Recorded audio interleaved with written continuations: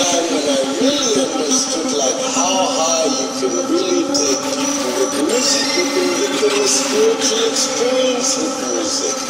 You know, you can take them really to divine places like and uplift their consciousness and open them up and then